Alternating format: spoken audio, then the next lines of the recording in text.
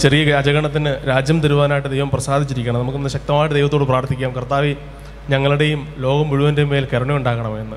കാരണം ഇന്ന് ദൈവത്തിന്റെ കരുണയെപ്പറ്റിയാണ് ഞാൻ സംസാരിക്കാൻ ആഗ്രഹിക്കുന്നത്. വിശുദ്ധ ഹൗസീനലോട് ദൈവം വെളിപ്പെടുത്തിയ കരുണയുടെ ആ വലിയ രഹസ്യത്തെപ്പറ്റി നമുക്ക് ധ്യാനിക്കാം.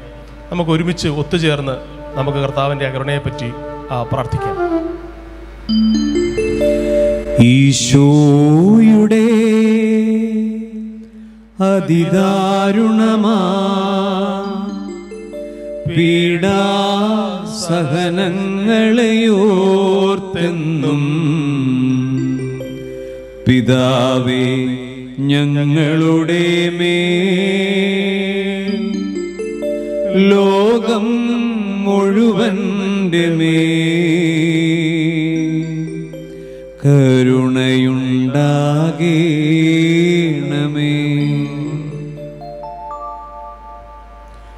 ജ്ഞാനത്തിന്റെ പുസ്തകം പതിനൊന്നാം അധ്യായം ഇരുപത്തിനാലും ഇരുപത്തി അഞ്ചും വാക്യങ്ങൾ. എല്ലാറ്റിനെയും അങ്ങ് സ്നേഹിക്കുന്നു. അങ്ങ് സൃഷ്ടിച്ച ഒന്നിനെയും അങ്ങ് ദ്വേഷിക്കുന്നില്ല. ദ്വേഷിച്ചെങ്കിൽ സൃഷ്ടിക്കുമായിരുന്നില്ല. അങ്ങ് ഇച്ഛിക്കുന്നില്ലെങ്കിൽ എന്തെങ്കിലും നിലനിൽക്കുമോ? അങ്ങ് അസ്തിത്വം നൽകിയില്ലെങ്കിൽ എന്തെങ്കിലും പുലരുമോ? ജ്ഞാനത്തിന്റെ പുസ്തകം പന്ത്രണ്ടാം അധ്യായം പതിമൂന്നാം വാക്യം. അങ്ങല്ലാതെ എല്ലാവരോടും കരുണ കാണിക്കുന്ന മറ്റൊരു ദൈവമില്ല അങ്ങയുടെ വിധി നീതിപൂർവകമാണെന്ന് ആരുടെ മുൻപിലും തെളിയിക്കേണ്ടതുമില്ല. പതിനെട്ടാം വാക്യത്തിൽ നമ്മൾ ഇങ്ങനെ വായിക്കുന്നു. സർവശക്തനായ അങ്ങ് മൃദുലമായ ശിക്ഷ നൽകുന്നു. വലിയ സഹിഷ്ണുതയോടെ ഞങ്ങളെ ഭരിക്കുന്നു. യഥേഷ്ടം പ്രവർത്തിക്കുവാൻ അങ്ങേക്ക് അധികാരമുണ്ടല്ലോ. അതായത് നമ്മൾ ഈ കണ്ട മൂന്ന് വാക്യങ്ങളിലും ദൈവത്തിന്റെ അനന്തമായ ശക്തിയും അനന്തമായ പരിപാലനയും അതുപോലെ തന്നെ അനന്തമായ കരുണയെയും പറ്റിയാണ് നമ്മൾ ധ്യാനിക്കുന്നത്. ഇങ്ങനെ ദൈവത്തിന്റെ കരുണയെപ്പറ്റി വിശുദ്ധ ഹൗസിനെ പറ്റി പ്രാർത്ഥിക്കണമെന്ന് അല്ല വചനം പങ്കുവയ്ക്കണമെന്ന് ആഗ്രഹിച്ച് ഞാൻ തുറന്നപ്പോൾ കഴിഞ്ഞ ദിവസം എനിക്ക് കിട്ടിയ ഭാഗമാണ് ജ്ഞാനത്തിന്റെ പുസ്തകം പതിനൊന്നാം അധ്യായം. അതിന്റെ പതിനഞ്ചാമത്തെ വാക്യത്തിന് കൊടുത്തിരിക്കുന്ന ടൈറ്റിൽ നിങ്ങൾ ശ്രദ്ധിച്ചോ? ദൈവത്തിന്റെ കാരുണ്യമാണ്. അനന്തമായ കരുണയുള്ള ദൈവം അനന്തമായ കരുണയോടെ നമ്മളെ പരിപാലിക്കുന്ന ദൈവം പക്ഷെ പലപ്പോഴും നമ്മളത് തിരിച്ചറിയുന്നില്ല. ദൈവം നമ്മളെ സ്നേഹിക്കുന്നു ദൈവം നമ്മളെ പരിപാലിക്കുന്നു. നമ്മൾ നമ്മുടെ സ്വന്തം കഴിവിൽ ആശ്രയിച്ച് സ്വന്തമായിട്ട് നമ്മൾ കാര്യങ്ങൾ ചെയ്യുന്നു എന്ന് വിചാരിച്ച് മുന്നേറുന്നു. പക്ഷെ അതൊന്നുമല്ല. എത്രയോ ആൾക്കാരെ കണ്ടിരിക്കുന്നു. വെറുതെ ഒന്ന് തുമ്മിയാൽ പൊട്ടാത്ത ഞരമ്പുകളൊന്നും നമ്മുടെ ശരീരത്തിലില്ല. ഒന്ന് ഉറക്ക തുമ്മിയാൽ പൊട്ടാത്ത ഞരമ്പുകളൊന്നും നമ്മുടെ ശരീരത്തിലില്ല. ഒന്ന് വെറുതെ മറിഞ്ഞു വീണാൽ എഴുന്നേൽക്കാത്ത എത്രയോ ആൾക്കാരെ നമുക്ക് ഹോസ്പിറ്റലിൽ കാണാൻ പറ്റും വ്യക്തിപരമായിട്ട് എനിക്കറിയുന്ന ആൾക്കാരുണ്ട്. വെറുതെ ഒന്ന് മറിഞ്ഞു വീണിട്ട് പിന്നെ എഴുന്നേൽക്കാൻ വയ്യാതെ കെട്ടിടത്തിലൊക്കെ ഈ ലാഡർ വെച്ച് കയറിയിട്ട് വീണ് നടുപിടിച്ചും അവിടെ കിടക്കുന്ന ചെറുപ്പക്കാരായ വ്യക്തികൾ ഞാൻ പറഞ്ഞത് അത്രയൊക്കെ ഉള്ളൂ നമ്മുടെ അസ്തിത്വം അത്രയൊക്കെ ഉള്ളൂ നമ്മുടെ കഴിവ് നമ്മുടെ കപ്പാസിറ്റി എന്നൊക്കെ പറയുന്നത്. പിന്നെയും നമ്മൾ നടക്കുന്നെങ്കിൽ അത് ദൈവത്തിന്റെ കരുണയെ കരുണ കൊണ്ട് മാത്രമാണ്. പക്ഷേ ഈ കരുണയെപ്പറ്റി നമുക്ക് വലിയ ധാരണയില്ല. അപ്പോൾ ഇന്ന് നമുക്ക് ദൈവത്തിന്റെ കരുണയെപ്പറ്റി ദൈവത്തിന്റെ സ്നേഹത്തെപ്പറ്റി നമുക്ക് ചിന്തിക്കാം പ്രാർത്ഥിക്കാം. കൊല്ലാൻ കൊണ്ടുപോകുന്ന ആൾക്കാരോട് പോലും കരുണ കാണിക്കുന്ന യേശു. തന്നെ കൊല്ലാനായിട്ട് കൊണ്ടുപോയി കുരിശിൽ തറച്ചു കഴിഞ്ഞപ്പോഴത്തേക്ക് പറയുകയാണ് കർത്താവ് ഇവർ ചെയ്യുന്ന എന്താണെന്ന് ഇവർക്ക് അറിയുന്നില്ല. ഇവരോട് ക്ഷമിക്കണമേ എന്ന് കർത്താവ് പ്രാർത്ഥിക്കുന്നു.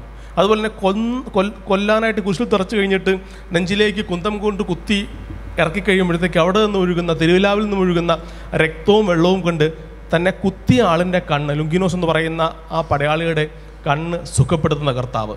അതായത് നമ്മൾ ചെയ്യുന്ന തിന്മകൾക്കനുസരിച്ച് ദൈവം നമ്മളെ വിധിക്കാനായിട്ട് തീരുമാനിച്ചിരുന്നെങ്കിൽ വിധിച്ചിരുന്നെങ്കിൽ ഞാനും നിങ്ങളും അടക്കം ഇന്ന് ഈ ലോകത്തിൽ ആരും ഉണ്ടാകുമായിരുന്നില്ല. കർത്താവിന്റെ അനന്തമായ സ്നേഹവും ദയവുമാണ് നമ്മളെല്ലാവരെയും മുന്നോട്ട് നയിക്കുവാനായിട്ട് പ്രേരിപ്പിക്കുന്നത് അല്ലെങ്കിൽ നയിച്ചുകൊണ്ടിരിക്കുന്നത്. അതിനെപ്പറ്റി നമുക്ക് ധാരണയില്ലാത്തത് കൊണ്ടാണ് നമ്മൾ പലപ്പോഴും ദൈവത്തിന്റെ സ്നേഹത്തിൽ നിന്നും അകന്നു പോകുന്നത്. അതുകൊണ്ടാണ് നമ്മൾ ആദ്യം തന്നെ കർത്താവിനോട് പ്രാർത്ഥിക്കുന്നത് കർത്താവ് ഞങ്ങളുടെ പീഡാസഹങ്ങളെ ഓർത്ത് ഞങ്ങളോട് കരുണ കാണിക്കണമേ എന്ന് പ്രാർത്ഥിക്കുന്നത്. കുമ്പസാരക്കൂട്ടിൽ ആൾക്കാർ വരുമ്പോഴത്തേക്ക് ആൾക്കാരുടെ സംശയം കുമ്പസാരിച്ച് കഴിഞ്ഞ് കർത്താവ് എന്നോട് ക്ഷമിച്ചു എന്നാണ്. നിങ്ങളോട് കർത്താവ് ക്ഷമിച്ചു നമ്മളോട് കർത്താവ് ക്ഷമിച്ചിട്ടുണ്ട്. അപ്പം ഞാൻ അവരോട് ചോദിക്കുന്ന രണ്ട് ചോദ്യങ്ങളുണ്ട്. ഒന്നാമത്തെ ചോദ്യം ഇതാണ് നിങ്ങൾ ചെയ്ത തിന്മയ്ക്കനുസരിച്ച് എന്തെങ്കിലും ശിക്ഷ ദൈവം നൽകിയിട്ടുണ്ടോ? നമ്മൾ ചെയ്ത തിന്മയ്ക്കനുസരിച്ച് അത് എന്ത് തരത്തിലുള്ള തിന്മയായിക്കൊള്ളട്ടെ?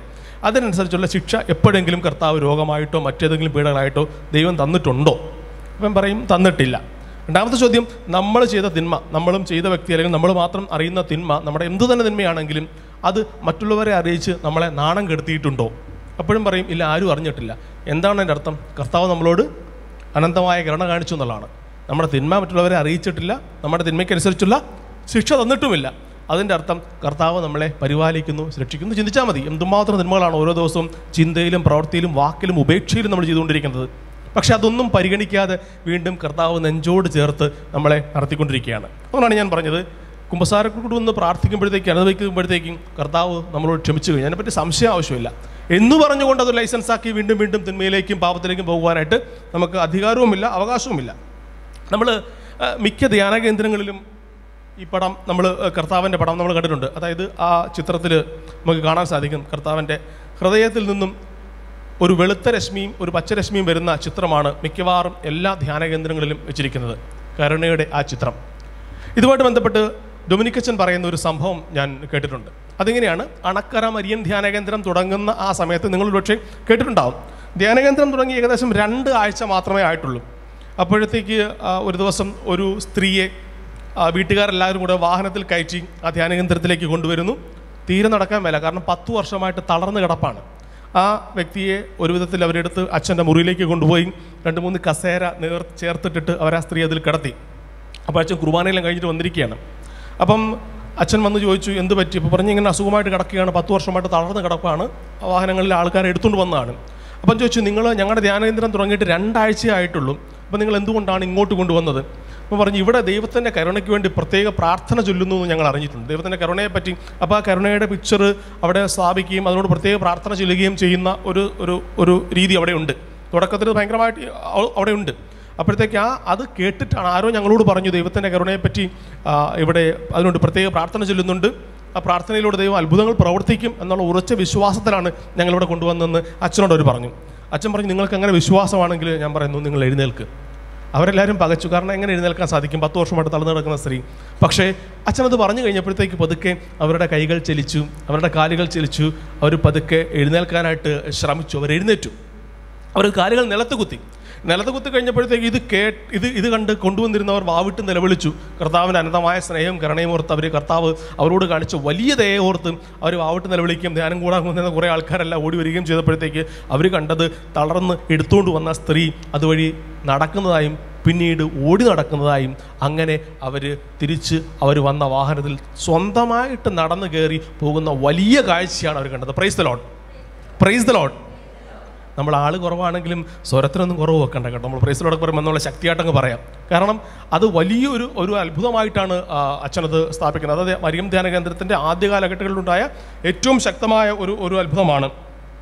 അപ്പം ഞാനിത് പറയാൻ ആഗ്രഹിക്കുന്നത് ആ ഇന്ന് വിശുദ്ധ ഹൗസിനെ പറ്റി പറയുമ്പോഴത്തേക്ക് കർത്താവിന്റെ ആ കരുണയുടെ ചിത്രത്തെ പറ്റി പറയുമ്പോഴത്തേക്ക് കരുണ കൊന്തയെപ്പറ്റി പറയുമ്പോഴത്തേക്ക് നമ്മളൊക്കെ ഉറച്ച വിശ്വാസത്തോട് പ്രാർത്ഥിക്കാം. തീർച്ചയായിട്ടും നമ്മുടെ ആഗ്രഹങ്ങൾ ആവശ്യങ്ങൾ പ്രാർത്ഥനകൾ എന്തു തന്നെ ആയിരുന്നാലും നമുക്ക് ആ ചിത്രത്തോട് ചേർത്ത് വെച്ചുകൊണ്ട് ചിത്രത്തോടല്ല ആ ആ മാതാവിന്റെ കരുണ ദൈവത്തിന്റെ കരുണയോടുകൂടി കർത്താവിന്റെ കരുണയ്ക്കായിട്ട് കർത്താവിന്റെ കരുണയുടെ മുമ്പിൽ നമ്മൾ സമർപ്പിച്ചുകൊണ്ട് പ്രാർത്ഥിച്ചാൽ തീർച്ചയായിട്ടും ദൈവം നമ്മുടെ പ്രാർത്ഥന കേൾക്കുകയും അത് നമുക്ക് സാധിച്ചു തരികയും ചെയ്യുന്ന ഉറച്ച വിശ്വാസത്തോട് മറ്റ് വിശ്വാസക്കുറവുകളോ മറ്റു ചിന്തകളോ ഒന്നും നമ്മളെ അലട്ടാതിരിക്കട്ടെ.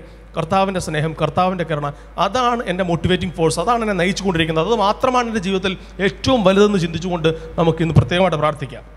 ഫൗസ്റ്റീനയുടെ ജീവിതത്തിലേക്ക് കടന്നു വരുമ്പോഴത്തേക്ക് പോളണ്ടിൽ ആയിരത്തി തൊള്ളായിരത്തി അഞ്ചിലാണ് മരിയ ഫൗസ്റ്റീന ഹെലൻ ജനിച്ചത്. വിവാഹം കഴിഞ്ഞിട്ട് ഏകദേശം ഒൻപത് വർഷം മക്കൾ ഉണ്ടാ ഉണ്ടായിരുന്നില്ല മരിയായുടെ അപ്പനും അമ്മയ്ക്കും.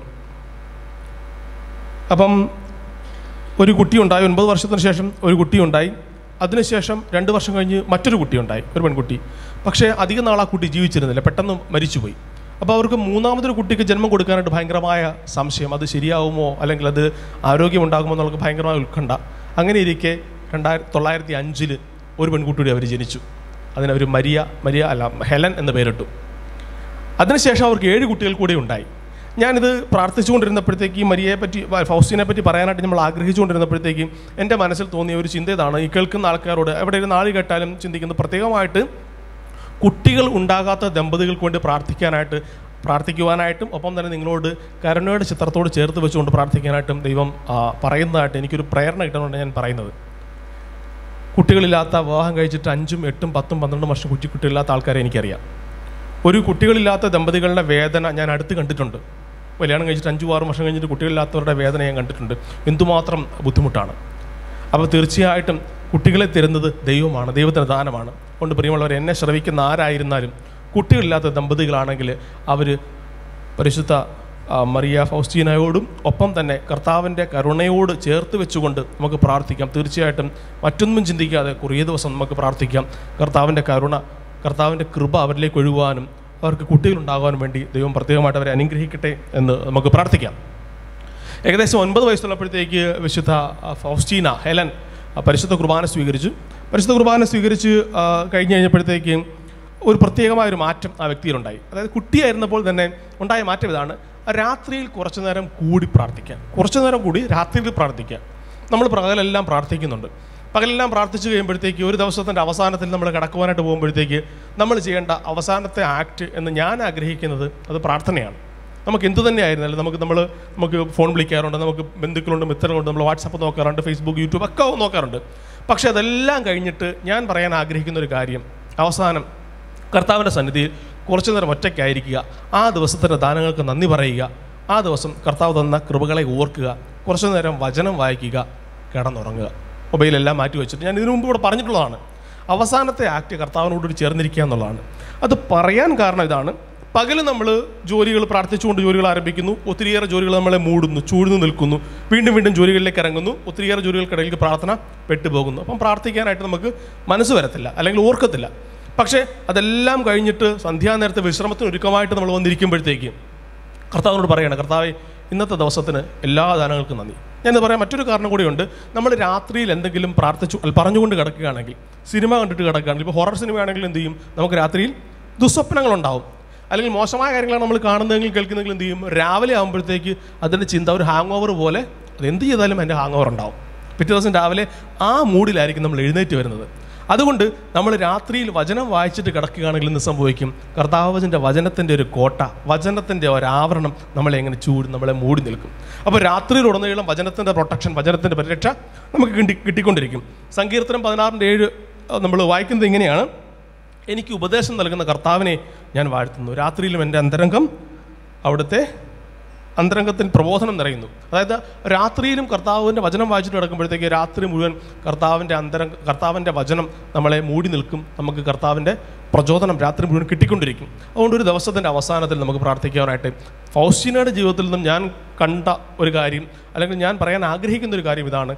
രാത്രിയിൽ പ്രാർത്ഥിച്ചിട്ട് കിടക്കുക. തീർച്ചയായിട്ടും രാത്രിയിലുടനീളം കർത്താവിന്റെ സംരക്ഷണം വചനത്തിന്റെ സംരക്ഷണം നമുക്ക് ഉണ്ടായിക്കൊണ്ടിരിക്കും. ഈ കുട്ടി വളരെ ചെറിയ കുട്ടിയായിരുന്നപ്പോൾ തന്നെ എല്ലാവരോടും വളരെ സൗമ്യമായിട്ടും സ്നേഹമായിട്ടും ഒക്കെ പെരുമാറുന്ന വളരെ ശാന്തശീലയായ നല്ലൊരു കുട്ടിയായിരുന്നു. ഇപ്പം മഠത്തിൽ ചേരണമെന്ന് ഭയങ്കരമായ ആഗ്രഹമുണ്ട്. കുട്ടിയായിരിക്കുമ്പോൾ തന്നെ മഠത്തിൽ ചേരണമെന്ന ഭയങ്കരമായ ആഗ്രഹം. പക്ഷേ ആ കാലഘട്ടത്തിൽ തൊള്ളായിരത്തി പതിനാലിൽ നമുക്കറിയാം എന്താ സംഭവിച്ചു ലോകമഹായുദ്ധം ഒന്നാം ലോകമഹായുദ്ധം പൊട്ടിപ്പുറപ്പെട്ടു. തൊള്ളായിരത്തി പതിനേഴിൽ പന്ത്രണ്ടാമത്തെ വയസ്സിലാണ് ഈ മരിയ ഹോസിന അല്ലെങ്കിൽ ഹെലൻ പഠിക്കാനായിട്ട് ആഗ്രഹിക്കുന്നത്.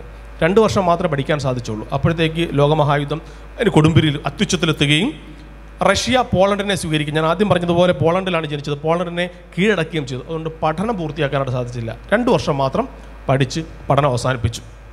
പിന്നെന്താ ചെയ്യുക പഠിക്കാത്ത കുട്ടി? പിന്നെ അവർ സ്വന്തമായിട്ട് നിൽക്കാനായിട്ട് ഏകദേശം പതിനഞ്ച് വയസ്സൊക്കെ ഉള്ളപ്പോഴത്തേക്ക് മരിയ ചിന്തിച്ചു ഇനി സ്വന്തമായിട്ട് ജീവിക്കുക അപ്പനമ്മയും ബുദ്ധിമുട്ടുണ്ട. ഒന്നാമത് അവിടെ ദാരിദ്ര്യവും ക്ലേശവും അരിഷ്ടതയൊക്കെയാണ്. അപ്പോൾ ചെയ്യാനായിട്ട് ചേച്ചിയെ പോലെ തന്നെ തൊട്ട് അയൽപ്പക്കത്തൊരു വീട്ടിൽ പോയിട്ട് വീട്ടിൽ വേല ചെയ്ത് ജോലി ചെയ്ത് വീട്ടുവേല ചെയ്ത് ജീവിക്കാനായിട്ട് കുറച്ചും കൂടി ഇൻഡിപെൻഡന്റ് ആയിട്ട് നിൽക്കാനായിട്ട് അവൾ തീരുമാനിച്ചു. പക്ഷേ എന്ത് കാര്യം ചെയ്താലും അത് ചെറുതോ വലുതോ എന്നൊന്നുമില്ല എന്ത് ചെയ്താലും ഏറ്റവും ഭംഗിയായിട്ട് ചെയ്യുക. വീട്ടുവേലിയാണ് ജോലിയാണ് ജോലിയാണ് ചെയ്യുന്നതെങ്കിൽ ആ ജോലി ഭംഗിയായിട്ട് ചെയ്യുക. എന്ത് ജോലിയാണ്? അവളുടെ ജീവിതത്തിലുടനീളം വലിയ സംഭവങ്ങളൊന്നും പുള്ളിക്കാർ ചെയ്തിട്ടില്ല.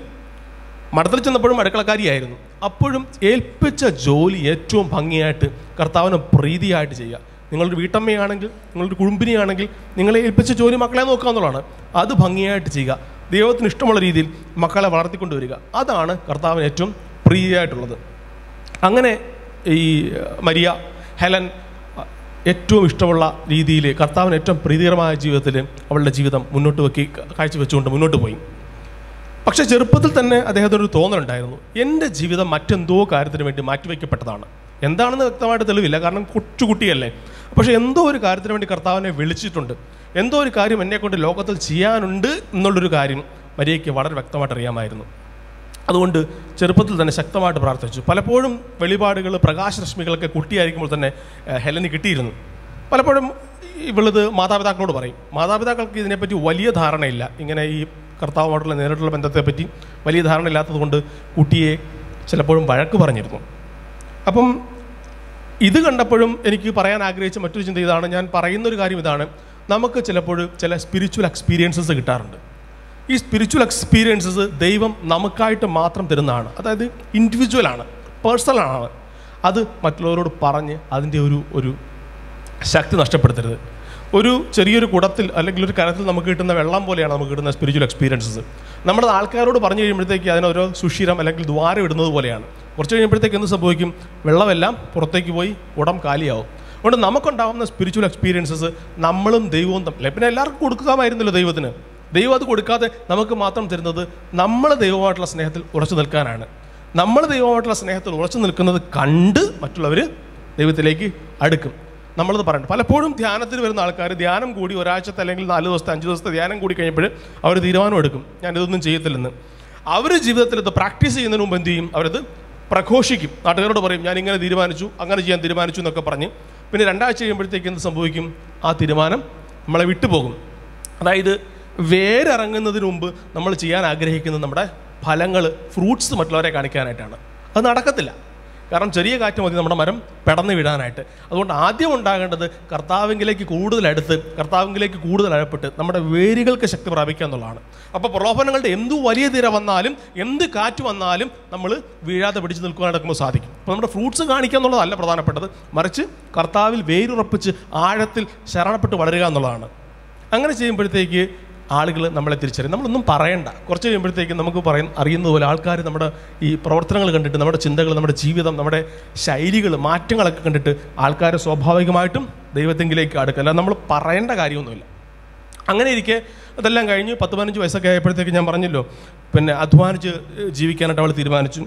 പക്ഷേ വലിയൊരു ചിന്ത മഠത്തിൽ ചേരണമെന്നുള്ളതാണ് ഒരു സിസ്റ്റർ ആവണം ഒരു കന്യാസ്ത്രീ ആവണം എന്നുള്ള ചിന്ത ചെറുപ്പത്തിൽ തന്നെ ഈ വ്യക്തിയിൽ രൂഢമൂലമായിരുന്നു. അങ്ങനെ മഠത്തിൽ ചേരാനായിട്ട് തീരുമാനിച്ചു. അപ്പം കത്തീഡ്രൽ പള്ളി പോയി ശക്തമായിട്ട് പ്രാർത്ഥിക്കുമ്പോഴത്തേക്ക് ദൈവം പറയുകയാണ് നീ എഴുന്നേറ്റ് നഗരത്തിലേക്ക് വർഷ നഗരത്തിലേക്ക് പോവുക. ആ നഗരത്തിൽ നീ ഒരു മഠത്തിൽ ചേരും. പക്ഷേ അത്രയും കൊണ്ട് ഉറപ്പില്ലായിരുന്നു. കർത്താവ് അവിടെ ചെന്ന് എന്താവോ അവസ്ഥ? കൊച്ചുകുട്ടിയാണ് പെൺകുട്ടിയാണ്.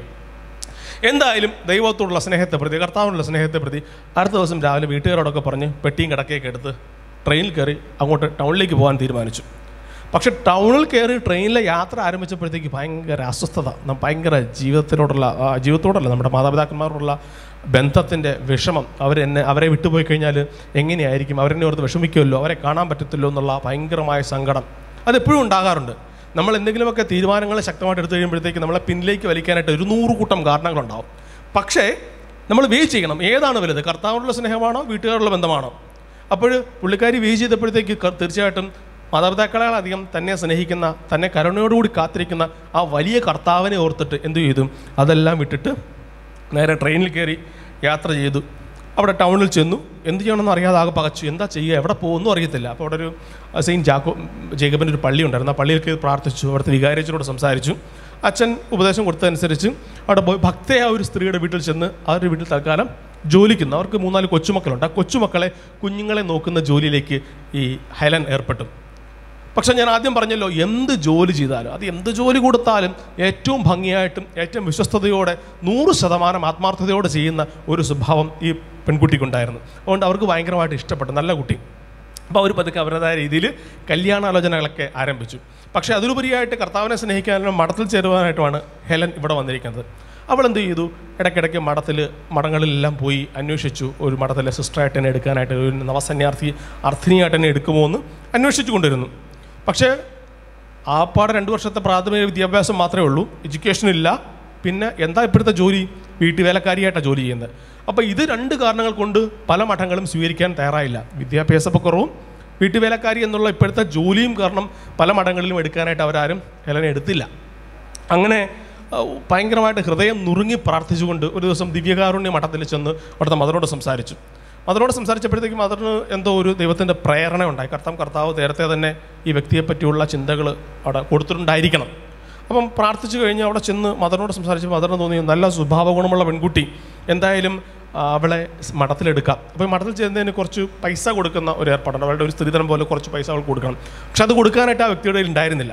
അതുകൊണ്ട് മദറിന്റെ അനുവാദത്തോട് തന്നെ കുറച്ച് വർഷം കൂടെ ഒരു വർഷം കൂടെ പുറത്ത് പോയി ജോലി ചെയ്ത് അവൾക്ക് ആവശ്യമുള്ള പണം സമ്പാദിച്ചുകൊണ്ട് അവൾ ഈ മഠത്തിലേക്ക് ചേർന്നു.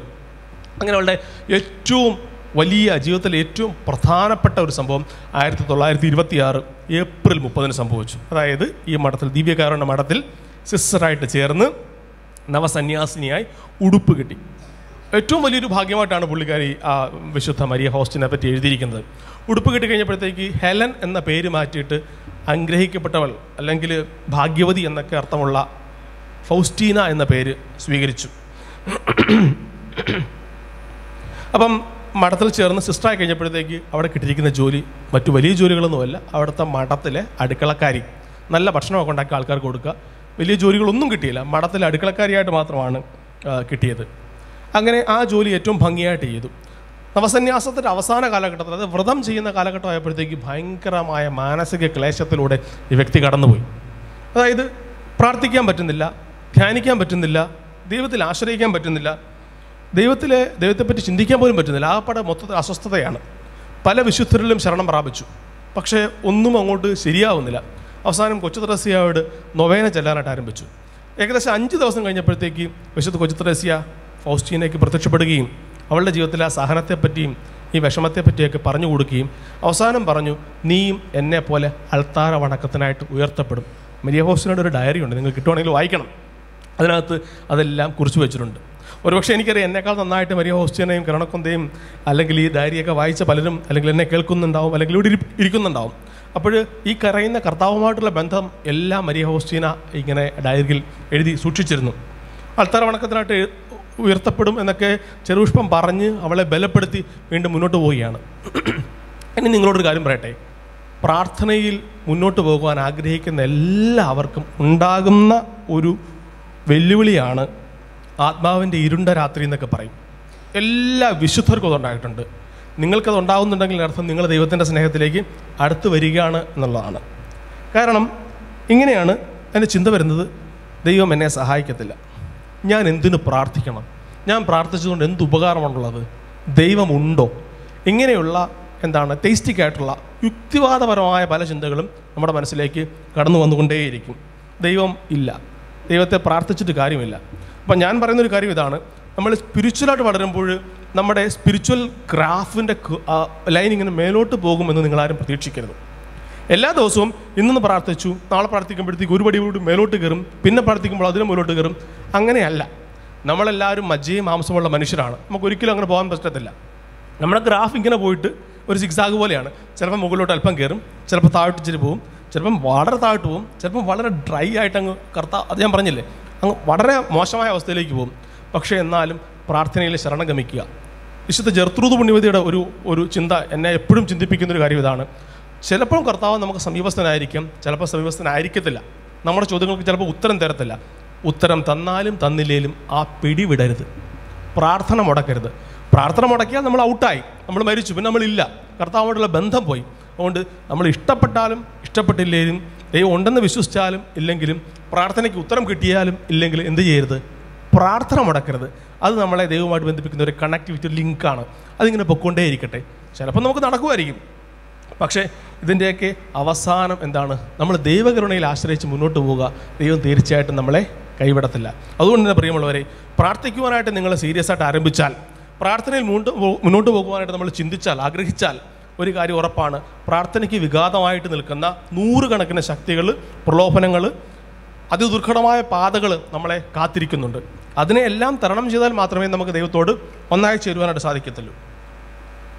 പലപ്പോഴും തനിക്കുണ്ടാകുന്ന ദൈവികമായ വെളിപാടുകൾ പണ്ട് മാതാപിതാക്കന്മാരെ അറിയിച്ചതുപോലെ ഈ ജെർ ഈ പുണ്യവതി വിശുദ്ധ ഫൗസ്റ്റീന തന്റെ അധികാരികളെ അറിയിച്ചു. അധികാരികളൊന്നും അത് വിശ്വസിച്ചില്ല. പലപ്പോഴും പരുഷമായ വാക്കുകളോട് അവർ കുറ്റപ്പെടുത്തി. അതെല്ലാം ഭയങ്കര സങ്കടത്തിന് കാരണമായി. പക്ഷേ ഈ സങ്കടങ്ങളെല്ലാം പാപികൾക്ക് വേണ്ടിയിട്ടും ആത്മാക്കൾക്ക് വേണ്ടിയിട്ടും ഒക്കെ അവൾ കാഴ്ചവെച്ച് പ്രാർത്ഥിച്ചു. ഹെബ്രായരുടെ പുസ്തകം പന്ത്രണ്ടാം അധ്യായം പതിനാലാം വാക്യത്തിൽ പറയുന്നുണ്ട് വിശുദ്ധി കൂടാതെ ആർക്കും ദൈവത്തെ പ്രസാദിപ്പിക്കുവാനായിട്ട് സാധിക്കത്തില്ല. ദൈവത്തെങ്കിലേക്ക് അടുക്കുവാനായിട്ട് ഒരു വ്യക്തി ആഗ്രഹിക്കുന്നുണ്ടെങ്കിൽ അതിന് വേണ്ടുന്ന ബേസിക് ബേസിക് ആയിട്ടൊരു ക്വാളിറ്റിയാണ് അല്ലെങ്കിൽ ക്വാളിഫിക്കേഷനാണ് വിശുദ്ധി ഉണ്ടാവുക എന്നുള്ളത്. അപ്പം വിശുദ്ധ മരിയ ഹൗസ്റ്റീനായ ഈ ദൈവത്തിന്റെ സ്നേഹത്തിൽ നിന്നും അകറ്റുവാനായിട്ട് ശുദ്ധതയ്ക്കെതിരായിട്ടുള്ള പല പ്രലോഭനങ്ങളും ഈ സഹോദരിയെ തേടി വന്നിട്ടുണ്ട്. ഇഗ്നോഷ്യസ് റയോളയുടെ കാര്യം പറഞ്ഞപ്പോഴും നമ്മൾ പറഞ്ഞതായിട്ട് ഞാൻ ഓർക്കുന്നുണ്ട്. മലമുകളിൽ സുബിയാക്കോ മലകളിൽ കുന്നിൻപുറകളിൽ വിശുദ്ധ ഇഗ്നോഷ്യസ് റയോള പ്രാർത്ഥിക്കുമ്പോൾ പോലും അവിടെ മനുഷ്യരില്ല കാണാൻ ആരുമില്ല. എന്നിട്ടും ശുദ്ധതയ്ക്കെതിരായ പ്രലോഭനങ്ങൾ പലപ്പോഴും ഇഗ്നേഷ്യസ് ലയോള ഭയങ്കരമായിട്ട് അലട്ടിയിരുന്നു. അവസാനം ഒരു ദിവസം അദ്ദേഹം വസ്ത്രമെല്ലാം ഉരിഞ്ഞിട്ട് ഒരു മുൾച്ചെടിയിലേക്ക് ചാടുകയും അവിടെ കിടന്ന് ഉരുണ്ട് അതിനെ പ്രലോഭനത്തെ പ്രതിരോധിക്കാൻ ശ്രമിക്കുകയും ചെയ്തു. അതിനുശേഷമാണ് ശുദ്ധതയ്ക്കെതിരായ പ്രലോഭനത്തിൽ നിന്നും അദ്ദേഹത്തിന് മോചനം കിട്ടിയത്. എന്ന് പറഞ്ഞതുപോലെ വിശുദ്ധ മരിയ ഫൗസ്റ്റിനേക്കും ശുദ്ധതയ്ക്കെതിരായ പ്രലോഭനങ്ങൾ ശക്തമായിട്ടുണ്ടായിട്ടുണ്ട് ശക്തമായിട്ട്. അപ്പോഴെല്ലാം കർത്താവിൽ ശരണം വെച്ചുകൊണ്ട് പ്രാർത്ഥിച്ചു. അവസാനം ഒരു ദർശനത്തിൽ പരിശുദ്ധ അമ്മയുടെ സാന്നിധ്യത്തിൽ കർത്താവ് പ്രത്യക്ഷപ്പെടുകയും ഒരു സ്വർണ ബെൽറ്റ് കൊടുക്കുകയും അങ്ങനെ അതിൽ നിന്നും അന്നു മുതൽ ശുദ്ധതയ്ക്കെതിരായ പ്രലോഭനങ്ങളിൽ നിന്നും മരിയ ഫൗസ്റ്റീന ഒഴിവാക്കപ്പെടുകയും ചെയ്യുന്നു. ഡയറി കുറിപ്പുകൾ നമ്മൾ വായിക്കുന്നുണ്ട്. അപ്പോൾ ശുദ്ധത പാലിക്കാതെ ദൈവത്തെ പ്രസാദിപ്പിക്കാനായിട്ട് സാധിക്കുകയില്ല. അപ്പോൾ ദൈവത്തിന്റെ വാക്കിന് വില കൊടുക്കുന്നതെങ്കിൽ ദൈവത്തെങ്കിലേക്ക് അടുക്കുവാനായിട്ട് നമ്മൾ ആഗ്രഹിക്കുന്നുണ്ടെങ്കിൽ ആ ഒരു മേഖലയിൽ വളരെയധികം ശ്രദ്ധിക്കേണ്ടിയിരിക്കുന്നു. ബാക്കിയെല്ലാം ഓക്കെയാണ്. ഇത് മാത്രം ഓക്കെ അല്ല എന്ന് പറഞ്ഞു കഴിഞ്ഞാൽ നടക്കത്തില്ല. കാരണം വലിയൊരു കപ്പലിനെ മുക്കാനായിട്ട് ചെറിയൊരു ദ്വാരം ഒരു സുഷിരം മതി. അപ്പോൾ ഇന്നല്ലെങ്കിൽ നാളെ ഇതിന് വലിയ വേണ്ടത്ര വില കൊടുത്തില്ലെങ്കിൽ ശ്രദ്ധ കൊടുത്തില്ലെങ്കിൽ നമ്മൾ എന്ത് ചെയ്യും? പതുക്കെ പതുക്കെ അത് മുങ്ങിപ്പോകും.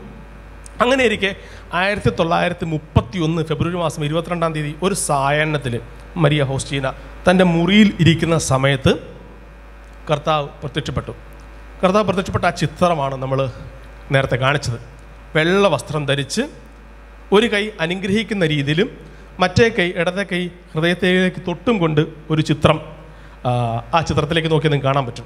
അത് ഇങ്ങനെ അനുഗ്രഹിക്കുന്ന രീതിയിൽ നിന്നുണ്ട് അപ്പോൾ കർത്താവിന്റെ ഹൃദയത്തിൽ നിന്നും ശക്തമായ പ്രകാശ ധോരണികൾ പുറത്തേക്ക് പോകുന്നത് പ്രകാശത്തിന്റെ വലിയൊരു വലയം പുറത്തേക്ക് പോകുന്നതായിട്ട് വിശുദ്ധ മരിയ മരിയ ഹോസ്റ്റിനേക്ക് കാണുവാനായിട്ട് സാധിച്ചു. അപ്പോൾ അതിനുശേഷം ഈശോ അവരോട് പറയുകയാണ് നീ കണ്ട ഈ രീതിയിൽ ഒരു ചിത്രം വരയ്ക്കുക. ആ ചിത്രം ലോകത്തിലെങ്ങും പ്രചരിപ്പിക്കുക. നിന്റെ മഠത്തിൽ പ്രചരിപ്പിക്കുക ഒപ്പം തന്നെ ലോകത്തിലെങ്ങും പ്രചരിപ്പിക്കുക. കർത്താവ് ഞാനെങ്കിൽ ശരണപ്പെടുന്നു എന്നതിന്റെ അടിയിൽ എഴുതി വെക്കുക. അതാണ് ആ ചിത്രം. ഈ ചിത്രത്തെ വണങ്ങി പ്രാർത്ഥിക്കുന്ന ഒരാത്മാവും നശിച്ചു പോകാനായിട്ട് ഞാൻ സമ്മതിക്കത്തില്ല എന്ന് പറയുന്നുണ്ട്. അപ്പോൾ ഇത് ഭയങ്കരമായ ഒരു പ്രചോദനത്തിന് കാരണമായി. സന്തോഷത്തോടുകൂടി സഹോദരിമാരോട് പറഞ്ഞു മദറിനോട് പറഞ്ഞു സഹോദരിമാരല്ല ഇതിനെ പുച്ഛിച്ച് തള്ളി എതിർത്തു മദർ അതിനെ പരുഷമായ വാക്കുകളാൽ നിന്ദിക്കുകയും ചെയ്തു. അതോടുകൂടി പുള്ളിക്ക് ഭയങ്കര വിഷമമായി സങ്കടമായി. കാരണം ലോകത്തിലേക്ക് കർത്താവ് നേരിട്ട് പ്രത്യക്ഷപ്പെട്ടിട്ട് വലിയൊരു വാഗ്ദാനം തന്റെ ഒരു ചിത്രം ലോകത്തിലേക്ക് കൊടുക്കാൻ തയ്യാറാകുമ്പോഴത്തേക്ക് സ്വന്തം മഠത്തിലുള്ളവർ പോലും അതിനെ വിശ്വസിക്കാത്ത അവസ്ഥയിൽ പലപ്പോഴും നമുക്കും ഉണ്ടാകാറുണ്ട്. നമുക്കുണ്ടാകുന്ന ആത്മീയാനുഭവങ്ങൾ അല്ലെങ്കിൽ നമ്മൾ സ്വന്തം കുടുംബത്തിൽ സ്വന്തം സമൂഹത്തിൽ നമ്മൾ സ്വന്തക്കാരുടെ ഇടയിൽ നമ്മൾ അവഗണിക്കപ്പെടുമ്പോൾ ഉണ്ടാകുന്ന അതിശക്തമായ വേദന ഫൗസ്റ്റീന കടന്നുപോയി. അത് വലിയ സഹനം തന്നെയാണ്. അതായത് ഒരു വ്യക്തിക്ക് കിട്ടാവുന്ന ഏറ്റവും വലിയ സഹനമാണ് അദ്ദേഹത്തെ എന്താണ് പരിഗണിക്കാതിരിക്കുക എന്നുള്ളത്. ഇപ്പം നമുക്കിപ്പോൾ ഒരാളോട് വഴക്കുണ്ടായി രണ്ടുപേരെ നമ്മൾ കാണുമ്പോഴത്തേക്ക് അവരോട് രണ്ട് തെറി പറഞ്ഞാൽ അല്ലെങ്കിൽ വഴക്ക് പറഞ്ഞാൽ പോലും ആ വ്യക്തിക്ക് അത്ര വിഷമമില്ല. എന്നാൽ നമ്മൾ പരിചയക്കാരായ രണ്ട് വ്യക്തികൾ കാണുമ്പോഴത്തേക്ക് മുഖം തിരിച്ച് നടക്കുമ്പോഴത്തേക്ക് ഉണ്ടാകുന്ന സങ്കടം ഭയങ്കരമാണല്ലേ? പരിചയമുള്ളവർ കാണുമ്പോഴത്തേക്ക് മൈൻഡ് ചെയ്യാതെ പോവുക. ഒരാളെ വേദനിപ്പിക്കാൻ പറ്റിയ ഏറ്റവും വലിയ മാർഗം അയാളെ പറ്റി കുറ്റം പറയുക അയാളെ മോശക്കാരനാക്കുക എന്നുള്ളതല്ല. ആ വ്യക്തിയെ കാണുമ്പോഴത്തേക്ക് മുഖം തിരിച്ചു നടക്കുക പരിചയം കാണിക്കാതിരിക്കുക തിരിഞ്ഞു നടക്കുക എന്നൊക്കെ പറയുമ്പോഴത്തേക്ക് ഭയങ്കരമായ സഹനമാണ്. അപ്പം ഏകദേശം അതേപോലുള്ള സഹനമാണ് ഫൗസ്റ്റീനയ്ക്ക് ജീവിതത്തിൽ ഉണ്ടായത്. അപ്പോൾ ഈ സഹനത്തെ പറ്റി ഫൗസ്റ്റീന എഴുതി വെച്ചത് ഇങ്ങനെയാണ്. സഹനം വലിയൊരു കൃപയാണ്. സഹനത്തിലൂടെയാണ് ആത്മാവ് രക്ഷ പ്രാപിക്കുന്നത്. എത്രമാത്രം സഹനം വലുതാണോ ആ സ്നേഹം അത്രമാത്രം നിർമ്മലമായിരിക്കും. അപ്പം സഹനം ഉണ്ടാകുമ്പോഴത്തേക്ക് മരിയ ഫോസ്റ്റീനയുടെ ജീവിതത്തിൽ വലിയ കാര്യങ്ങളൊന്നും അദ്ദേഹം ചെയ്തിട്ടില്ല. ജീവിതത്തിലുണ്ടാകുന്ന ചെറിയ ചെറിയ കാര്യങ്ങൾ സഹനങ്ങളെ അൽഫോൺസാമയായിട്ട് ഞാൻ ബന്ധിപ്പിക്കുന്നുണ്ട് അതിനെ. അപ്പോൾ ഈ ചെറിയ ചെറിയ കാര്യങ്ങളെ സഹനങ്ങളെ വളരെ സ്നേഹത്തോടു കൂടി എടുക്കുകയും കർത്താവിന്റെ സഹനങ്ങളോട് കൂടി തന്റെ സഹനങ്ങളെ ചേർത്ത് വെച്ചുകൊണ്ട് ആത്മാക്കളുടെ രക്ഷയ്ക്കായിട്ട് പ്രാർത്ഥിക്കുകയും ചെയ്തു. അങ്ങനെ ഈ ചിത്രം മരിയ ഹോസ്റ്റിന കർത്താവ് നേരിട്ട് വന്ന് പറഞ്ഞാണ് ഈ ചിത്രം ലോകത്തിന് വേണ്ടിയിട്ട് ഞാൻ സമർ നീ സമർപ്പിക്കണം. ലോകത്തിന്റെ രക്ഷയ്ക്ക് വേണ്ടിയിട്ട് ഈ ചിത്രം ആളുകളുടെ- കയ്യിൽ നീ പ്രചരിപ്പിക്കണം. അങ്ങനെയൊക്കെ വലിയൊരു സംഭവം ഉണ്ടായി ആയിരത്തി തൊള്ളായിരത്തി മുപ്പത്തി മൂന്നിൽ മെയ് ഒന്നാം തീയതി മരിയ ഹോസ്റ്റിന നിത്യവ്രതം ചെയ്തു മഠത്തിലേക്ക് തിരിച്ചെത്തി. നിത്യവ്രതം ചെയ്ത് കഴിഞ്ഞപ്പോഴത്തേക്ക് സാധാരണഗതിയിൽ അവർ ഒരു മഠത്തിലെ പെർമനന്റ് മെമ്പറായിട്ട് എടുക്കുന്നതാണ്. അപ്പോൾ ഒരു വ്യക്തി സന്യാസാർത്ഥിനിയായിട്ട് മഠത്തിലേക്ക് വന്ന് അവിടെ അവർ ആദ്യം സഭാവസ്ത്രം സ്വീകരിച്ച് പിന്നീട് വ്രതം ചെയ്ത് ഓരോ വർഷവും വ്രതം പുതുക്കി അനിത്യവ്രതങ്ങൾ ആദ്യം രണ്ടോ മൂന്നോ വർഷം മൂന്നോ നാലോ വർഷമൊക്കെ ചെയ്യുന്നുണ്ട്. അതിനുശേഷം ഓരോ വർഷവും ആ വ്രതം പുതുക്കി അവസാനം മൂന്ന് വർഷം കഴിയുമ്പോഴത്തേക്കാണ് നിത്യവ്രതം ചെയ്ത് ആ വ്യക്തി സഭയിലെ പെർമനന്റ് മെമ്പറായിട്ട് മാറുന്നത്. അങ്ങനെ നിത്യവ്രതം ചെയ്ത് സഭയിലെ മെമ്പറായപ്പോഴത്തേക്ക് അദ്ദേഹം ഓർത്ത് അദ്ദേഹത്തിന് എന്തെങ്കിലും ചിന്തിച്ച് കാണത്തില്ലായിരിക്കും ഒരു പക്ഷേ. പക്ഷേ അദ്ദേഹത്തിന് ഒരു ജോലിയും കിട്ടിയില്ല. ഒരു പണിയുമില്ലാതെ ചുമ്മാതെ പ്രത്യേകിച്ച് പൊസിഷനൊന്നും ഒന്നും കൊടുത്തില്ല. അദ്ദേഹം പക്ഷേ ശാന്തമായിട്ട് ക്ഷമയോടുകൂടി ആ അവസ്ഥയെ നേരിട്ടു. നമുക്കെല്ലാവർക്കും ഉണ്ടാകുന്ന പ്രശ്നമാണ് ഒക്യുപ്പേഷൻ ക്രൈസിസ് നമുക്കൊരു ജോലി കിട്ടിയില്ലെങ്കിൽ നമ്മൾ ആഗ്രഹിക്കുന്ന കാര്യം നടന്നില്ലെങ്കിൽ വിചാരിക്കുന്ന പോലെ കാര്യങ്ങളിൽ തീരുമാനത്തിലെത്തിയില്ലെങ്കിൽ നമ്മൾ വളരെയധികം അസ്വസ്ഥരാകും നമ്മൾ മറ്റുള്ളവരെ കുറ്റം പറയും. നമ്മുടെ മാതാപിതാക്കന്മാരെ അധികാരികളെ കുറ്റം പറയാൻ പറ്റാത്ത ആരുമില്ലാത്ത രീതിയിൽ നമ്മൾ നമ്മളെ തന്നെ ദുഷിപ്പിക്കും. മറ്റുള്ളവരെയും ദുഷിപ്പിക്കും. പക്ഷേ അങ്ങനെയല്ല. കർത്താവിന്റെ സ്നേഹത്തിലേക്ക് അടുക്കണമെങ്കിൽ നമ്മൾ ക്ഷമാപൂർവം കാത്തിരിക്കണം. തക്ക സമയത്ത് അവിടെ നമ്മൾ ഉയർത്തും. ക്ഷമയില്ലാത്തതാണ് പലപ്പോഴും വിശുദ്ധിയിൽ വളരുവാനായിട്ട് പ്രാർത്ഥനാ ജീവിതത്തിൽ മുന്നേറുവാനായിട്ട് നമ്മളേക്ക് പ്രലോ നമ്മളെ ബ്ലോക്ക് ചെയ്യുന്ന പല ഘടകങ്ങളിലൊന്ന്. അങ്ങനെ തന്റെ ജീവിതത്തിൽ പ്രത്യേകിച്ച് അധികാരമൊന്നും കിട്ടിയില്ലെങ്കിൽ പോലും മരിയ ഫൗസ്റ്റീന ക്ഷമയോടുകൂടി കർത്താവിന്റെ വരവിനായിട്ട് കർത്താവിന്റെ രാജ്യം വ്യാപിപ്പിക്കാൻ വേണ്ടി മരിയ ഫൗസ്റ്റീന ക്ഷമയോടുകൂടി കാത്തിരുന്നു. പക്ഷേ മരിയ ഫൗസ്റ്റീനെ അറിയാവുന്ന ഒരു വ്യക്തി ഉണ്ടായിരുന്നു അത് അദ്ദേഹത്തിന്റെ കുമ്പസാരക്കാരനായ ഒരു വൃദ്ധ വൈദികൻ ഫാദർ മൈക്കിൾ. മൈക്കിളിനോട് ഈ കാര്യങ്ങളെല്ലാം ഫൗസ്റ്റീന പറഞ്ഞു. മൈക്കിളിന് അറിയാം ദൈവകൃപ നിറഞ്ഞൊരു വ്യക്തിയാണ് ഈ ഫൗസ്റ്റീന എന്ന്. അപ്പോൾ അദ്ദേഹം ഇത് പറഞ്ഞു കഴിഞ്ഞപ്പോഴത്തേക്ക് ഈ ചിത്രം വരയ്ക്കാനായിട്ട് മൈക്കിൾ അച്ഛൻ കൂടെ നിന്നു. യൂജിൻ എന്ന് പറഞ്ഞൊരു കലാകാരനെ വിളിച്ചുകൊണ്ട് വന്ന് ആയിരത്തി തൊള്ളായിരത്തി മുപ്പത്തി നാലിൽ ഈ ചിത്രം വരയ്ക്കാനായിട്ട് ആരംഭിച്ചു. അപ്പം മരി ഹോസ്റ്റിന്റെ കാര്യങ്ങൾ വിശദീകരിച്ചു കൊടുത്തു. ഇങ്ങനെ ഇതാണ് ചിത്രം ഇതാണ് ഇങ്ങനെയൊക്കെയാണ് വരയ്ക്കേണ്ടത്. യേശുവിന്റെ രൂപം നെഞ്ചിൽ നിന്നുരുകുന്ന പ്രകാശ ധോരണികൾ ഇതൊക്കെ പറഞ്ഞു കൊടുത്തു. അപ്പം അച്ഛൻ ഫൗസ്റ്റിനോട് പറഞ്ഞു നീ ചോദിക്കുക കർത്താവിനോട് ഈ രണ്ട് രശ്മികൾ വെള്ളയും ഈ ചുമപ്പും വരുന്നല്ലോ എന്താണ് അതിന്റെ അർത്ഥം? അർത്ഥം അറിയാൻ നമ്മൾ വരച്ചിട്ട് കാര്യമില്ല. അപ്പോഴത്തേക്ക് മരിയ ഫൗസ്റ്റിനെ കർത്താവിനോട് ചോദിച്ചു കർത്താവ് എന്താണ് ഈ പ്രകാശ ധോരണികളുടെ അർത്ഥം? എന്താണ് പിന്നെ ഈ ഇതിന്റെ അർത്ഥം? അപ്പോഴത്തേക്ക് കർത്താവ് പറഞ്ഞു കൊടുത്തു ചുവന്ന രശ്മി ആത്മാക്കളുടെ ജീവരക്തത്തെയും വെള്ളരശ്മി ആത്മാക്കളെ നീതീകരിക്കുന്ന ജലത്തെയും അതായത് ആത്മാക്കളെയും അതിനെ നീതീകരിക്കുന്ന ജലത്തെയുമാണ് ഈ രണ്ട് രശ്മികൾ സൂചിപ്പിക്കുന്നത്. ഇതിൽ അഭയം തേടുന്ന കർത്താവിന്റെ ചിത്രത്തിൽ അഭയം തേടുന്ന കർത്താവിന്റെ സ്നേഹത്തിൽ അഭയം തേടുന്ന ഓരാത്മാവ് പോലും നശിച്ചു പോകാതെ പാപത്തിൽ നിന്ന് മോചിതനായി നിത്യജീവിതത്തിലേക്ക് പ്രവേശിക്കും എന്ന് കർത്താവ് മരി ഫൗസ്റ്റിനേക്ക് ഉറപ്പ് നൽകുകയാണ്. അതായത് ഈ ചിത്രം വരയ്ക്കുന്ന സമയത്തെല്ലാം മരിയ ഫൗസ്റ്റീന ഒരു വർഷത്തോളം എടുത്തെന്ന് തോന്നുന്നത് അല്ല മൂന്നാൽ മാസം എടുത്ത് പൂർത്തിയാക്കാനായിട്ട്. മരിയ ഫൗസ്റ്റീന മുള്ളരഞ്ഞാണം കെട്ടി ശക്തമായിട്ട് വൈദികർക്ക് വേണ്ടിയും പാപികളുടെ വേണ്ടിയും ഒക്കെ വളരെ ശക്തമായിട്ട് പ്രാർത്ഥിച്ചുകൊണ്ടേയിരുന്നു. അങ്ങനെ തൊള്ളായിരത്തി മുപ്പത്തി നാലിൽ ആരംഭിച്ച ചിത്രരചന തൊള്ളായിരത്തി മുപ്പത്തി നാലിൽ ജൂൺ മാസത്തിൽ ഈ ചിത്രരചന പൂർത്തിയാക്കി. അങ്ങനെ മൈക്കിൾ അച്ഛന്റെ അടുത്തുള്ളൊരു മഠത്തിലെ അവരുടെ പള്ളിയുടെ അടുത്തുള്ളൊരു മഠത്തിൽ ഈ ചിത്രം പ്രതിഷ്ഠിച്ചു. പ്രതിഷ്ഠിച്ച് കഴിഞ്ഞപ്പോഴത്തേക്ക് ഫൗസ്റ്റീനയ്ക്ക് ഭയങ്കര സങ്കടം. കാരണം കർത്താവിനെ നേരിട്ട് കണ്ട വ്യക്തിയാണല്ലോ ഫൗസ്റ്റീന. കണ്ടു കഴിഞ്ഞപ്പോഴത്തേക്ക് വരച്ചു വന്നപ്പോഴത്തേക്ക് ഈ കണ്ടത്ര സൗന്ദര്യം കർത്താവിന്റെ പടത്തിനില്ല. അതായത് കർത്താവ് നേരിട്ടപ്പോഴത്തേക്ക് ഭയങ്കര സുന്ദരനായ ചെറുപ്പക്കാരൻ വരച്ചു വന്നപ്പോഴത്തേക്ക് അത്രയും ഇപ്പം കാണുന്നത് അത്രയൊക്കെ ഉള്ളൂ. അത് കണ്ടപ്പോഴത്തേക്ക് അദ്ദേഹത്തിന് ഭയങ്കര സങ്കടമായി. സങ്കടപ്പെട്ടിരുന്നു. അപ്പോൾ കർത്താവ് വീണ്ടും വന്നിട്ട് പറഞ്ഞു മകളെ പേടിക്കേണ്ട വിഷമിക്കേണ്ട. ഏ സാരമില്ല. നീ ചിത്രം ആളുകളിലേക്ക് പ്രചരിപ്പിക്കാനായിട്ട് ശ്രമിക്കുക. സൗന്ദര്യമൊക്കെ ഇത്രയൊക്കെ മതി. പ്രധാനപ്പെട്ടത് എന്താണ് ആളുകളെ ദൈവത്തിന്റെ സ്നേഹത്തിലേക്ക് നയിക്കുക എന്നുള്ളത് തന്നെയാണ്. ചിത്രം വരച്ച് അത് പ്രദർശിച്ച് കഴിച്ച മുതൽ മരിയ ഫോസീന രോഗിണിയായി തീർന്നു. നീരാ രോഗം. രോഗിലേപനൊക്കെ സ്വീകരിച്ച്. പിന്നെ ആ കാലഘട്ടത്തിൽ പിന്നെ രോഗിണിയായിരിക്കുന്ന കാലഘട്ടത്തിൽ മറ്റൊരു സംഭവം കൂടെ ഉണ്ട്. അപ്പാണ് ഇപ്പോൾ നമ്മൾ കേട്ട കർത്താവിന്റെ കിരണക്കൊന്ത. നമ്മളറിയാം രാത്രി മൂന്ന് മണിക്കും ഉച്ചയ്ക്ക് മൂന്ന് മണിക്കൊക്കെ കിരണക്കൊന്ത ചെല്ലുന്ന ഒത്തിരിയേറെ ആൾക്കാർ എന്നെ കേൾക്കുന്നുണ്ട്. അപ്പം കരുണക്കൊന്ത കർത്താവ് നേരിട്ട് വന്ന് മരിയ ഹൗസിനേക്ക് പറഞ്ഞു കൊടുത്ത ഒരു ഒരു ഒരു പ്രാർത്ഥനയാണ്. അതായത് കർത്താവിന് പീഡാസഹനങ്ങളെ ഓർത്ത് ലോകത്തിന്റെ മേലും നമ്മുടെ മേലും നമ്മുടെ പൂർവപിതാക്കന്മാരുടെ മേലും കുടുംബക്കാരുടെ മേലും നമ്മളെ അറിയാവുന്നവരുടെ മേലും എല്ലാവരുടെ മേൽ കരുണയായിരിക്കാനായിട്ട് ദൈവത്തിന്റെ കോപത്തെ ശമിപ്പിക്കാൻ ഉപകരിക്കുന്ന ഒരു പ്രാർത്ഥനയാണ് ഈ കരുണക്കൊന്ത ഈ കരുണയുടെ പ്രാർത്ഥന. അപ്പോൾ തീർച്ചയായിട്ടും നമുക്ക് വിശ്വാസത്തോടു കൂടി പ്രത്യേകിച്ച് ഞാൻ ആദ്യം പറഞ്ഞതുപോലെ കുട്ടികളില്ലാത്ത ദമ്പതികൾ ഒപ്പം തന്നെ നമ്മുടെ ആ നമ്മുടെ എത്ര കഠിന ഭാവികളാണെങ്കിലും നമ്മൾ എത്രമാത്രം ദൈവത്തിൽ നിന്ന് അകന്നു പോയവരാണെങ്കിലും തിരിച്ചു വരാനുള്ള ഒരു പിടിവള്ളിയാണ് ഒരു നൂൽ കെട്ടാണ് ഒരു നൂലാണ് ഈ കരുണക്കൊന്ത എന്നുള്ളത്. അപ്പോൾ നമുക്ക് തീർച്ചയായിട്ടും കരുണക്കൊന്ത ചൊല്ലി കർത്താവിനോട് പ്രാർത്ഥിക്കാം. ദൈവത്തിന്റെ സ്നേഹത്തിലേക്ക് നമ്മളെ തിരിച്ചു കൊണ്ടുവരാനായിട്ടും ദൈവം നമ്മളോട് കരുണ കാണിക്കും. കാരണം സ്വന്തം പുത്രനെ നൽകുവാൻ ലോകത്തെ അത്രമാത്രം സ്നേഹിച്ച കർത്താവ് ഈ മകന്റെ പീഡാനുഭവത്തെ ഓർത്ത് നമ്മൾ പറയത്തില്ലേ? നമ്മുടെ നമ്മുടെ മാതാപിതാക്കളോട് നമ്മൾ പറയുമ്പോൾ പോലും നമ്മളോട് ദേഷ്യമാണെങ്കിൽ അവരോട് നമ്മുടെ എന്തെങ്കിലും നമ്മുടെ വിഷമങ്ങളൊക്കെ കാണുമ്പോഴത്തേക്കും നമ്മളോട് കരുണ കാണിക്കും. നമ്മുടെ മാതാപിതാക്കന്മാർ നമ്മൾക്ക് ഇഷ്ടമില്ലാത്ത ആൾക്കാർ പോലും ചിലപ്പം നമ്മുടെ ഭയങ്കരമായിട്ട് അസൂയുള്ള ആൾക്കാരല്ല. അല്ലാത്തവരൊക്കെ ആണെങ്കിൽ നമ്മൾ ഒരുമാതിരിപ്പെട്ടവരൊക്കെ നമ്മളോട് കരുണ കാണിക്കും. അങ്ങനെയാണെങ്കിൽ സ്വന്തം പുത്രന്റെ പീഡാനുഭവങ്ങളെ ഓർത്ത് കർത്താവായ ദൈവം എന്തുമാത്രം കരുണ നമ്മളോട് കാണിക്കത്തില്ല. നമ്മൾ ഈ പ്രാർത്ഥന പ്രാർത്ഥിച്ചാൽ നമ്മുടെ മാതാപിതാക്കന്മാർക്ക് വേണ്ടിയും ബന്ധുക്കൾക്ക് വേണ്ടിയും മിത്രങ്ങൾക്ക് വേണ്ടിയും പരിചയക്കാർക്ക് വേണ്ടിയും ആർക്കൊക്കെ വേണ്ടി നമ്മൾ പ്രാർത്ഥിക്കുന്നു? തീർച്ചയായിട്ടും ദൈവത്തിന്റെ മഹാ അത്ഭുതങ്ങൾ. ഞാൻ ആദ്യം പറഞ്ഞതുപോലെ മരിയൻ വചനതീരത്തിൽ മാത്രമല്ല ഇന്ന് എന്നെ കേൾക്കുന്ന സഹോദരന്മാർ നിങ്ങളുടെ ഇടയിലും ഈ കരുണയുടെ ചിത്രം സമർപ്പിച്ച് സ്ഥാപിച്ച് പ്രാർത്ഥിക്കുന്ന എല്ലാ കുടുംബങ്ങളുടെ മേലും കർത്താവിന്റെ വലിയ കരുണ ഉണ്ടാകും എന്ന് കർത്താവ് യേശുവിന്റെ നാമത്തിൽ ഞാൻ നിങ്ങൾക്ക് ഉറപ്പ് നൽകുകയാണ്. കർത്താവിന്റെ കരുണയുണ്ടാകും. അപ്പം ഇങ്ങനെ ഒത്തിരിയേറെ സഹനങ്ങളിലൂടെ കടന്നുപോയി മരണത്തിന്റെ വക്കിലേക്ക് എത്തി ഒത്തിരിയേറെ കാര്യങ്ങൾ പ്രവചിച്ചായിരുന്നു. രണ്ടാം ലോക മഹായുദ്ധത്തെ പറ്റി പ്രവചിച്ചു. പിന്നെ കരുണയുടെ തിരുനാൾ ആഘോഷിക്കുന്നതിനെ പറ്റി പ്രവചിച്ചു. സ്വന്തം മരണത്തെപ്പറ്റി പ്രവചിച്ചു. എല്ലാം അവൾ പ്രവചിക്കുകയും ഡയറിയിൽ എഴുതുകയും ചെയ്തു. ഇതെല്ലാം അക്ഷരാർത്ഥത്തിൽ സംഭവിച്ചു. രണ്ടാം മഹായുദ്ധം സംഭവിച്ചു. കഴിഞ്ഞിട്ട് അവരുടെ മഠം പോളണ്ടിലെ മഠം പിന്നെ മറ്റുള്ളവർക്കായിട്ട് തുറന്നു കൊടുത്തു. അവിടെ ആൾക്കാർ വന്ന് മരിയ ഫോസിനോട് പ്രാർത്ഥിച്ചു.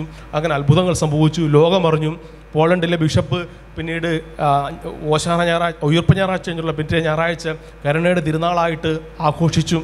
അങ്ങനെ കർത്താവിന്റെ കൃപയാൽ കർത്താവിന്റെ ഹൃദയത്തോടുള്ള സ്നേഹം ഈ ലോകം മുഴുവൻ വ്യാപിക്കുവാനായിട്ട് മരിയ ഫൗസ്റ്റിന കാരണമായി. കർത്താവുമായിട്ട് നിരന്തര ബന്ധം ചെറുപ്പത്തിൽ തന്നെ ഉണ്ടായിരുന്നു. ഡയറി കുറിപ്പുകളിൽ അത് കാണാനായിട്ട് സാധിക്കും. നിരന്തരമായ ബന്ധമുണ്ടായിരുന്നു. പലപ്പോഴും മരിയ ഫൗസ്റ്റിന രോഗിണിയായിരുന്ന സമയത്ത് പലപ്പോഴും സെറാഫുകൾ കൊണ്ടുവന്ന് അല്ലെങ്കിൽ കർത്താവ് തന്നെ വന്ന് കുർബാന കൊടുത്തിട്ടുണ്ട്. കുംഭസാരം അദ്ദേഹത്തിന് വളരെയധികം ആനന്ദം നൽകുന്ന ഒരു കാര്യമായിരുന്നു. ദൈവത്തോട് ഏറ്റു പറയുക. വൈദികരില്ലാതെ ആശുപത്രി കിടന്ന സമയത്ത് പലപ്പോഴും കർത്താവ് നേരിട്ട് വന്ന് ഫൗസ്റ്റിനോട് കുംഭസാരം കേട്ടിട്ടുണ്ടെന്ന് ഫൗസ്റ്റിന ഡയറി കുറിപ്പിൽ എഴുതിയിട്ടുണ്ട്. പോയി കഴിയുമ്പോൾ മനസ്സിലാവുന്ന കർത്താവാണെന്ന്. അതായത് കർത്താവിൽ നിന്നും നേരിട്ട് കുർബാന സ്വീകരിക്കുകയും കുംഭസാരം കർത്താവ് കേൾക്കുകയും ചെയ്ത ഒരു വിശുദ്ധിയാണ് മരിയ ഫോസ്റ്റീന. അങ്ങനെ മുപ്പത്തി മൂന്നാമത്തെ വയസ്സിൽ ആയിരത്തി തൊള്ളായിരത്തി മുപ്പത്തി എട്ട് ഒക്ടോബർ മാസം അഞ്ചാം തീയതി മരിയ ഫോസ്റ്റീന ഈ ലോകത്തോട് വിട പറഞ്ഞു. വലിയ ചെറിയ ചെറിയ കാലഘട്ടം അധികം വലിയ കാലഘട്ടമൊന്നും ജീവിച്ചിരുന്നിട്ടില്ല. കുറച്ചു കാലം മാത്രമാണ് ജീവിച്ചിരുന്നത്. അപ്പോൾ കർത്താവിന്റെ കരണക്കായി പ്രാർത്ഥിച്ചുകൊണ്ട് തന്റെ ഹൃദയത്തെ കർത്താവോട് ചേർത്ത് വെച്ചു. അപ്പം പ്രിയമുള്ളവരെ ഈ മരിയ ഫൗസ്റ്റിനയുടെ ജീവിതം ഞാൻ പഠിച്ചപ്പോഴും വായിച്ചപ്പോഴൊക്കെ എനിക്ക് ചിന്തിച്ച കാരണം അൽഫോൺസമ്മയുടെ ജീവിതമായിട്ട് ഒത്തിരിയേറെ സാമ്യങ്ങൾ കണ്ടിട്ട് ഒന്നാമത്തെ കാര്യം അവർ രണ്ടുപേരും ജീവിച്ചിരുന്ന ഏകദേശം ഒരേ കാലഘട്ടത്തിൽ തന്നെയാണ് തൊള്ളായിരത്തിന്റെ ആദ്യ പാദങ്ങളിലാണ് രണ്ടുപേരും ജീവിച്ചിരുന്നത്. രണ്ടുപേരും മഠത്തിന്റെ ആവൃത്തിക്കുള്ളിൽ നിന്നും അധികമൊന്നും പുറത്തു പോയിട്ടില്ല. രണ്ടുപേരുടെയും പ്രായം ഏകദേശം മുപ്പതിനും നാൽപ്പതിനും ഇടയ്ക്കാണ് മുപ്പത്തിമൂന്ന് മുപ്പത്താറ്. ആ പ്രായത്തിലാണ് രണ്ടുപേരും മരിച്ചത്. വലിയ കാര്യങ്ങളൊന്നും ചെയ്തിട്ടില്ല. രണ്ടുപേർക്കും ധാരാളമായ സഹനങ്ങളുണ്ടായിരുന്നു ഈ സഹനങ്ങളെ അവർ സ്വീകരിച്ച രീതിയാണ് അവരെ വ്യത്യസ്തരാക്കിയത്. അല്ലാതെ എന്താണ് ചെയ്തത്? ലോകത്തിൽ അത്ഭുതമെന്ന് പ്രതീക്ഷിക്കാവുന്ന ഒരു കാര്യമോ അല്ലെങ്കിൽ ലോകത്തിൽ മഹാത്ഭുതമെന്ന് കാണാവുന്ന ഒരു കാര്യവും ഇരുവരും ചെയ്തിട്ടില്ല. പക്ഷേ ഇരുവരും സഹനത്തെ സ്നേഹിച്ചു കർത്താവിനെ സ്നേഹിച്ചു കർത്താവിന്റെ സ്നേഹത്തോട് ഒട്ടി നിന്നു. അതുകൊണ്ട് പറയാൻ ആഗ്രഹിക്കുന്ന കാര്യം ഇത്രയും മാത്രമേ ഉള്ളൂ. ഈ വിശുദ്ധരോടെല്ലാം ചേർന്ന് കർത്താവിന്റെ സ്നേഹത്തിന്റെ നീളവും വീതിയും ആഴവും പരപ്പും ഒക്കെ ഗ്രഹിക്കാനായിട്ട് നമ്മൾക്കും ഇടവരട്ടെ. പ്രത്യേകമായിട്ട് മരിയ ഫൗസ്റ്റിനോട് നമുക്ക് പ്രാർത്ഥിക്കാം. കർത്താവിന്റെ തിരുഹൃദയത്തോടും അതുപോലെ തന്നെ കർത്താവിന്റെ ഹൃദയത്തിൽ നിന്ന് ഒഴുകുന്ന രശ്മികളോടും ചേർന്നതുകൊണ്ട് നമുക്ക് പ്രാർത്ഥിക്കാം. തീർച്ചയായിട്ടും കർത്താവിന്റെ സ്നേഹത്തിലേക്ക് നമ്മളെ തന്നെ വിട്ടുകൊടുക്കാം. ഇന്ന് നമ്മൾ ഇന്ന് മുതൽ സമർപ്പിച്ച് പ്രാർത്ഥിച്ചു നോക്കാം. ദൈവം നമ്മുടെ പ്രാർത്ഥന കേൾക്കുകയും നമ്മുടെ കുടുംബങ്ങളെയും നമുക്ക് ആവശ്യമുള്ള എല്ലാ കാര്യങ്ങളും നൽകി നമ്മളെ ധാരാളമായിട്ട് അനുഗ്രഹിക്കട്ടെ. കർത്താവിന്റെ സ്നേഹം നമ്മളെ പൊതിഞ്ഞു പിടിക്കട്ടെ. പിതാവിന്റെയും പുത്രന്റെയും പരിശുദ്ധമാവിന്റെയും നാമത്തിൽ ആമേൻ.